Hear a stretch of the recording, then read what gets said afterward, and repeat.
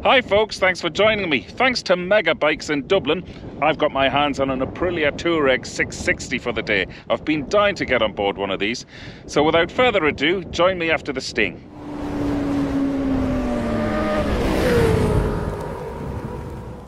So at long last, I'm on board the Aprilia Tuareg, the 660.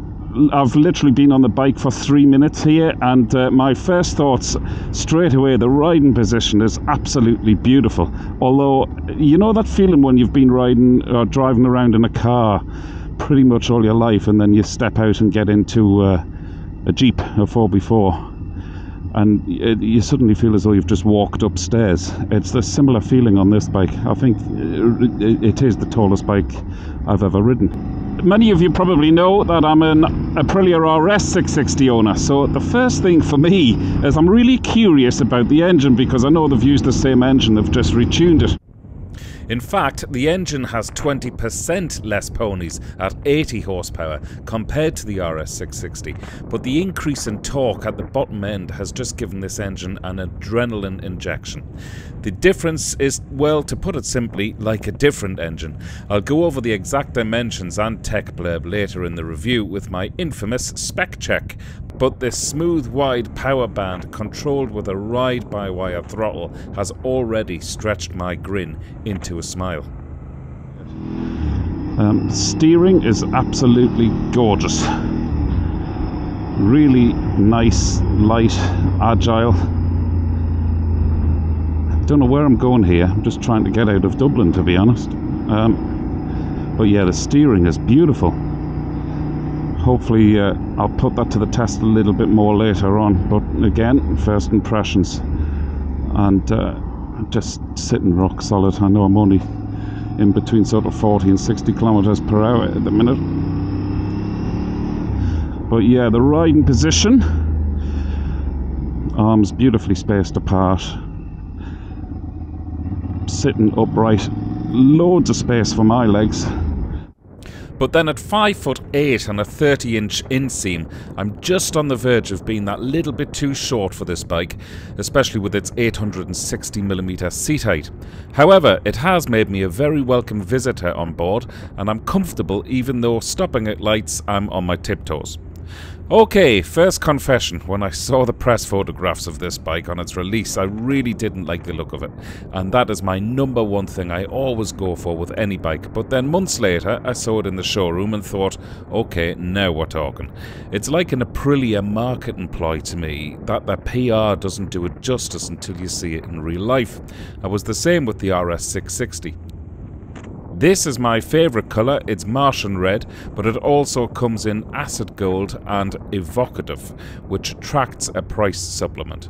On that note, the current prices here in Ireland at Megabikes for this Tuareg are 13,799 euro for the Martian Red and also for the Acid Gold, and then 14,495 euro for the Evocative. Um, I'd read a couple of reports about uh, the screen not being big enough to read all of the information. Well, at my age, I've got a bit of a dodgy eyesight problem going on, um, but I can read the screen no problem. It's also lovely and bright, and as you can see, we're out on a very sunny day, but I can read all of the information, even the small print of the exterior temperature and the time. So um, that's good. Bearing in mind, I, uh, I can barely read my phone screen. One optional add-on I would buy straight away if I was to own one of these would be the quick shifter and blipper. That would just finish the bike for me, even though the clutch is nice and light. Now one thing I am noticing, every time I stop and pull away, maybe it's just the way I ride, but I sort of keep my feet down and drag them for a foot or so, and I hadn't realised that until now. But the pillion pegs behind me keep digging into my uh, calves which uh, which isn't great. In fact, as I was pulling away from the uh, from Mega Bikes to take this away for the day, I noticed that uh, the uh, the right hand side pillion peg got caught in the top of my boot. So I um, I'd be I'd be taking them off straight away, unless you ride pillion quite a bit, of course. But even moving it around as well, you can feel the pegs digging into the back of your calves. Not a problem, you can get rid of them. Okay, I'm just gonna slow down for a bit of a fueling test. I'm uh, doing nearly 30 kilometers an hour in third gear. Uh, just to check to see if it's coughing and spluttering or if the fuel injection is hunting. And it's not, it's rock solid. I'm just going to move it up into fourth. Still rock solid. So fueling is absolutely bang on there. No problems at all with that. So around town, I suspect this would be uh, an, a dream. So fueling all good. Right, we'll carry on. What a gorgeous day to be out on a gorgeous bike. This is really beautiful. The sound of that engine. I love the sound of that engine. The bark. One thing I've noticed already coming to stop at junctions is the uh, the dive. I'll show you here. wow. Well, first of all, the brake the brakes are amazing, but then the uh, Brembos. Oh, I could just listen to that soundtrack all day. I hope you're picking it up on the microphone. But yes, the dive in the in the front forks, well, there's 240 millimeter of travel in both sets of uh, suspension setups.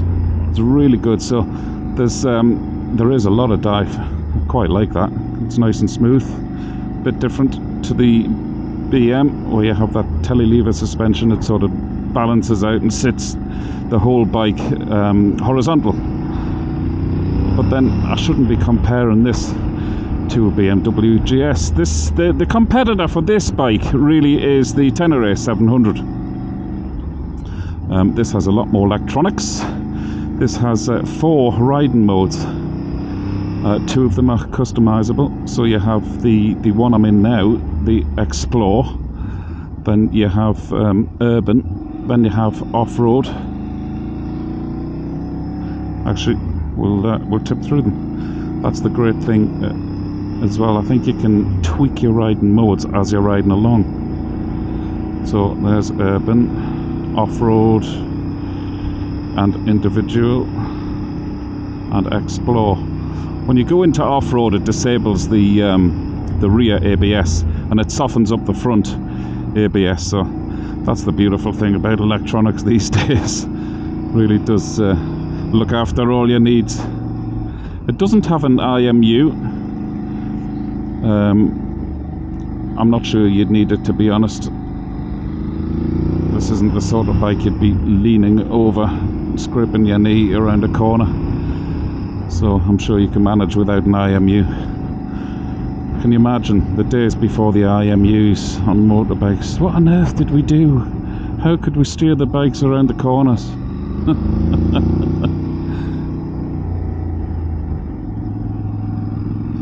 wing mirrors are really really good so clear they uh, I can't even see my elbows let alone my shoulders um, they stick out nice and far and wide haven't had a chance really to take the bike up to speed yet to see if there's any buzziness buzziness but uh, certainly riding around at 60 70 kilometers an hour there's no buzziness not even in the seat not the pegs nothing I'm very happy sitting in this throne. Like I keep saying, the riding position's beautiful, I, but I can't believe how nimble the bike is. It's 184 kilograms dry. It's over 200 kg wet. So I know it's not massively heavy. What helps um, the balance of the bike a lot is that the fuel uh, tank is down low. So I wonder if we can find a little dirt lane somewhere around here. Ooh. That would be nice, wouldn't it? Love to take it off-road. and I nearly slipped up between the rocks there and I thought, yeah, does that look good?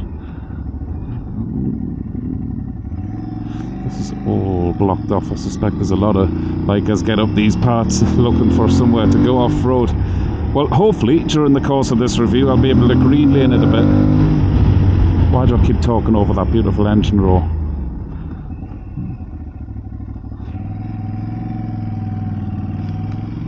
Right, I'm having a little look in there.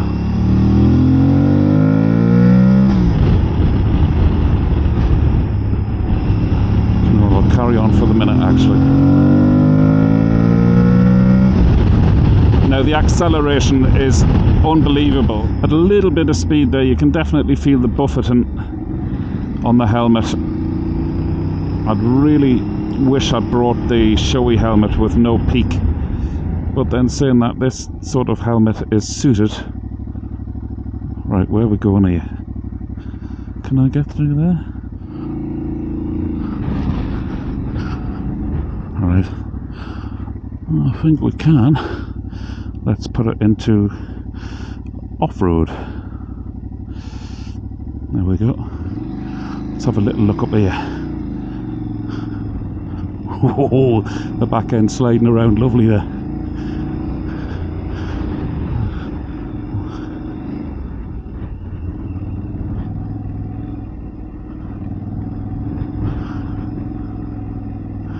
taking it handy because uh, this is a demo bike. I just want to see how it soaks up the lumps and bumps. And uh, so far it's doing a great job. Definitely feel the back end uh, sliding around a bit. But it's good feedback through the bars. And it's soaking up the lumps and bumps. I suspect the camera is staying fairly smooth, but believe me, there are good few lumps and bumps there. Let's go left and try try this. Got to be careful. It's a lovely day. There's going to be a lot of walkers out today, but I'll take it handy. Oh yes, this would eat anything up. I ain't getting any further here either. I could take this anywhere.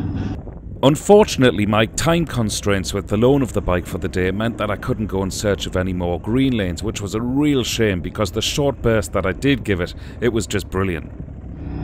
Now let's listen to that roar and the pullback. Don't want to scare that cyclist. Imagine that.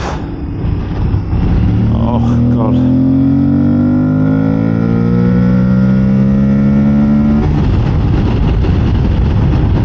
This is brilliant.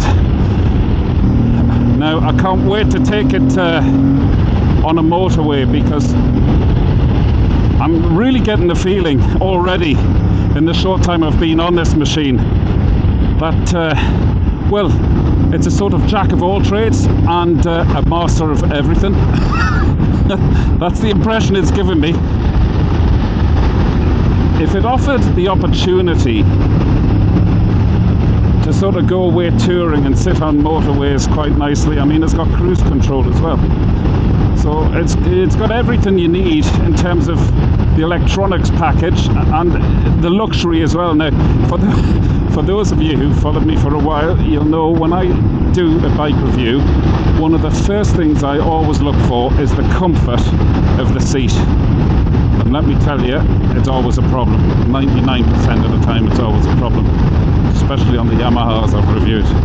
But this seat, well, the reason I haven't even talked about it at the top of the review is because I haven't noticed it, which means it's passed my test anyway. It's passed my posterior test. Top marks to the seat. It's so comfortable. And that's what the, the brakes are amazing. That's what I mean about this being an all-rounder. I'd be quite happy sitting for hours on end on a motorway. So let's recap. It's very light and nimble through the houses, as you saw earlier, and I wouldn't hesitate to ride it through busy towns on a commute.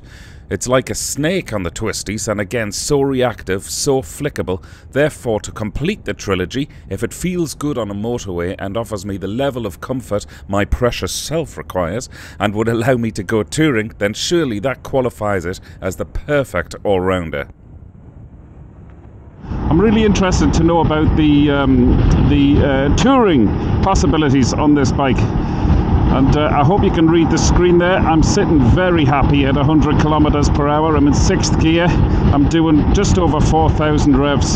So there's loads left in this. I reckon I could uh, easily take it up to 115 miles per hour. But uh, you know, all in all, with the comfort of the seat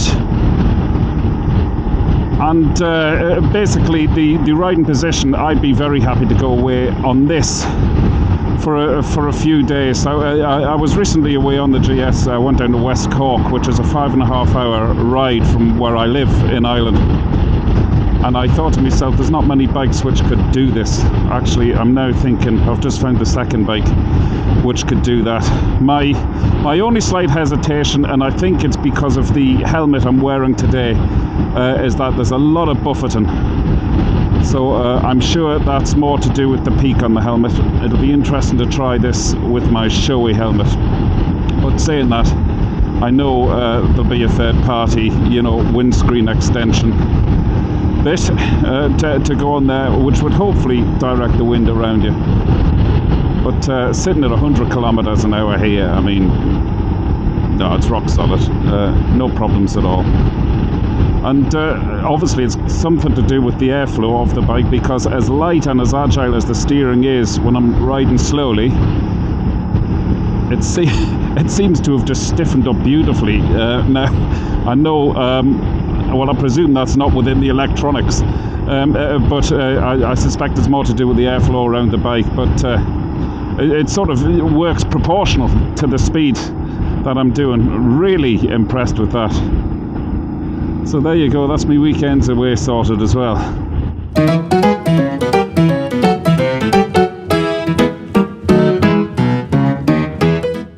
Okay, kicking off in the heavyweight corner. Well, actually, in fact, not too heavyweight. It's 187 kilograms dry and 204 kilograms fully wet. This already makes it a lot more conducive to off-roading compared to its bigger litre plus adventure style bikes, which in my opinion are just too heavy for the average rider to go Bear Grylls. The 21 inch front and the 18 inch rear tubeless rims also give a huge nod to the mud.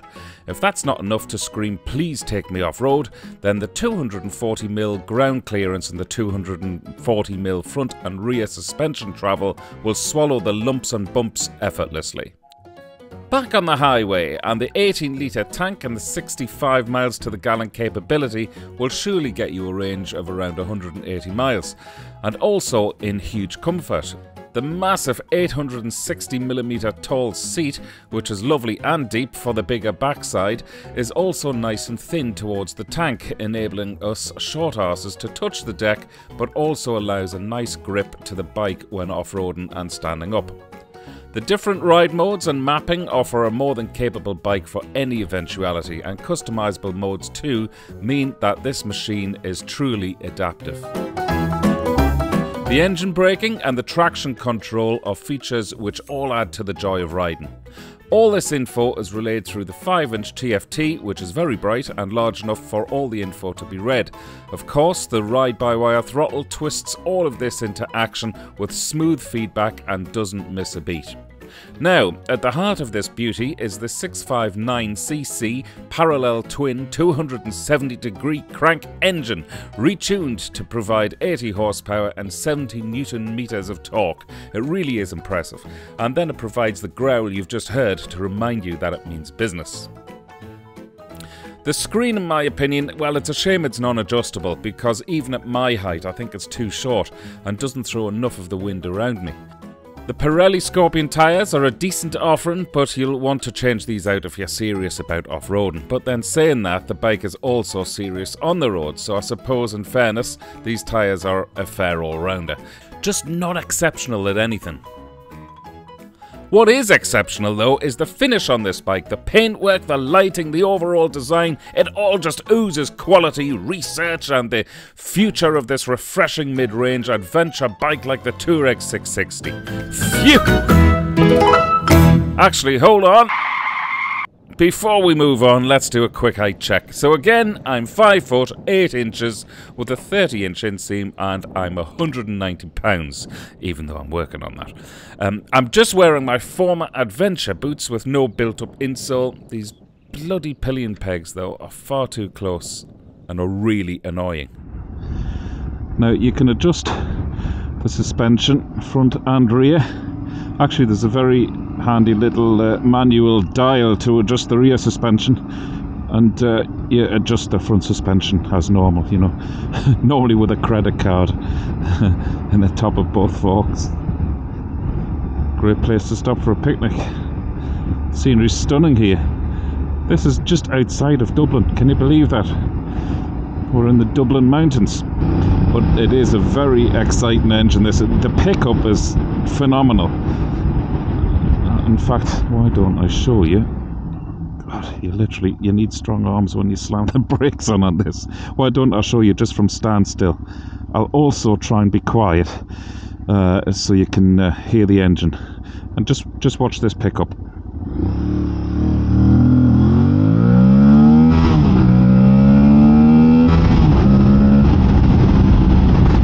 Now I'm having to slow down because there's a runner but I hope you got the sense of that. I mean, I'm sure my arms are an inch longer after that. I have to say I've noticed when I'm riding around at slow speeds here, there's an awful lot of heat on my on the bottom of my right leg. Um, I don't know if that's from well I suspect I do know it's probably from the the Euro 5 catalytic converter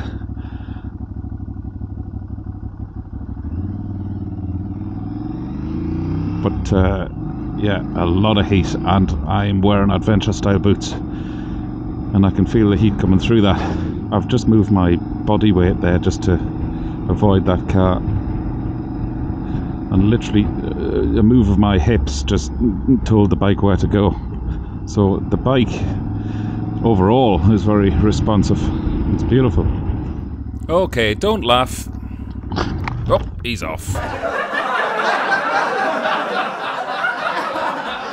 Okay, I've dropped the bike. No shit, Batman. Because my boots caught in the rear pillion pegs. This is a problem, folks. Okay, all back to normal, and uh, thankfully, not much damage. I've cracked the handguard, but uh, that's all. Thank God. So, very, very well protected thanks to these handguards. We did land in the grass, so that was fine. But these things, folks, are a huge problem. So that's what brought me over. I got caught in the boots by this again. So as you can see, you can just remove these fairly easy to remove, but they are going to catch a lot more people out. They have to go. But thankfully, no other damage. Uh, and hopefully not my confidence either, because um, I am absolutely loving this bike. So without uh, further ado, let's get back on. As they say, when you fall off your bicycle, get straight back on and uh, ride again. So that's exactly what I'm going to do. So that's the first spill I've ever had on any bike I've uh, had out on a test ride. And something really stupid. In fairness to myself, I should have pulled the jeans over the top of the boots to stop the uh, pillion peg catching as soon as I knew that that was a problem, which I did, you know. Uh, I knew it was a problem, but so I'm blaming myself more than anything else. Anyway, let's have some fun. Let's get rid of that little memory there, that little mishap. I'm sure it could have been a lot worse. I'm pleased I didn't go over on uh, tarmac. At least we landed in soft grass. So I suppose the question left for me to answer is would I buy one of these? Short answer is yes, of course I would, in a heartbeat. What about that for a postcard scene? Um, I think this bike is brilliant. It has pretty much everything in bucket loads. I just wish I had it for longer than a day. I absolutely love this. I've had a great time riding it. Um, as I said earlier on in the review, it's a jack of all trades, but it seems to be the master of everything as well. Great bike. Highly recommend it. Thanks once again to Mega Bikes for giving me the pleasure of riding it. And uh, now I have to ride back to their shop and explain what happened to the handguard. Uh, they're a good bunch in there, I'm sure they'll be fine. And uh, thanks to you, of course, folks, for coming along riding with me. I hope you took something from this review. If you did indeed enjoy this review, please uh, consider liking and subscribing. Plenty more to come, as always. So, for Wheelie Good TV, over and out.